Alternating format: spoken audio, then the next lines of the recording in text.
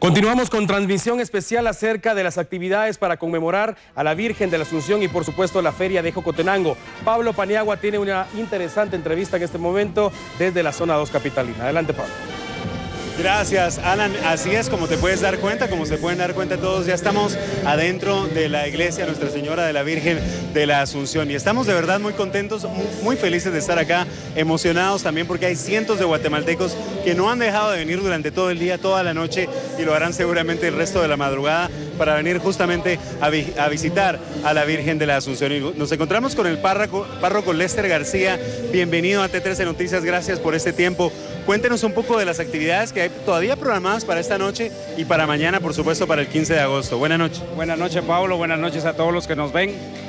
La verdad es una satisfacción a uno como sacerdote el ver a tanta gente, pero sobre todo también se le pide un compromiso a la misma gente que tenga una incidencia en la misma sociedad, que no solo nos conformemos con venir, pasar, rezar y ya nos vamos, sino que al contrario aprender a tener ese mismo compromiso delante de nuestra Madre la Virgen Santísima para que seamos mejores cristianos, mejores ciudadanos.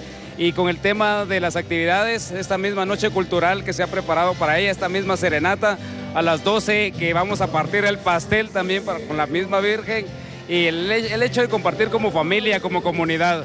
Después tenemos el día de mañana la Eucaristía a las 5.30 para que salga la procesión y nos vamos a dirigir a Catedral Metropolitana porque ya tenemos una Eucaristía solemne a las 10 de la mañana para después regresar al templo a las 2 de la tarde. Este año se modificó también el mismo recorrido porque se quiso hacer una procesión más de barrio, más de comunidad cerca de la misma parroquia y va a agarrar por la primera avenida para salir por el sauce y después llegar a este mismo templo. Estaría llegando a este templo alrededor de las 2 de la tarde, nos indicaba. 2.30 de la tarde al finalizar la Eucaristía de la una y media. Excelente, además son miles de guatemaltecos que disfrutan de esta actividad. Quería algunas palabras que tú le puedas decir a todas las personas en casa que, del significado sobre todo del 15 de agosto, el Día de la Virgen de la Asunción, párroco. Muy bien, el 15 de agosto hay que recordar que la misma cédula que se da para la misma ciudad del 2 de octubre de, de 1976 se dice Nueva Guatemala de la Asunción. Y por eso es el mismo patronazgo de esta misma ciudad.